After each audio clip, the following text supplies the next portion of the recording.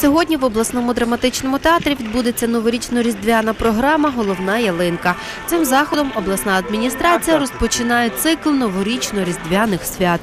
Початок свята о 15-й годині. Перед цим для дітей влаштують забави на театральному майдані. Участь у цьому заході будуть брати діти з усієї області. Це переважно це категорія діти-сироти, діти з тих сімей, які опинилися в складних життєвих обставинах, діти з багатодітних сімей. Загалом упродовж новорічно-різдвяних свят на Тернопільщині та в обласному центрі відбудеться понад 70 різноманітних заходів. Родзинкою, безперечно, стане фестиваль куті, який організовують вперше. Головним елементом нового фестивалю буде велетенська макітра із кутею. Організатори сподіваються, що вона здобуде звання найбільшої в Україні. Господині планують приготувати у ній за традиційним українським рецептом 1300 літрів куті.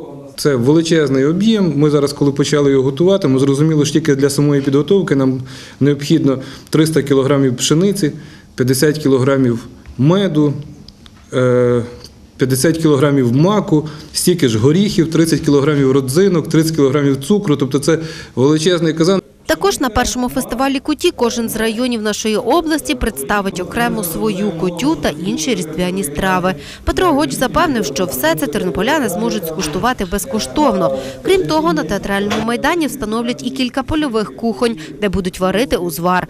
Організатори також планують після фестивалю куті видати і збірку кращих рецептів головної різдвяної страви. Святкування продовжиться 13 січня в селі Горошова Борщівського району. Усіх запрошують на Маланку. Вже сьогодні заявки на участь подають з багатьох регіонів країни.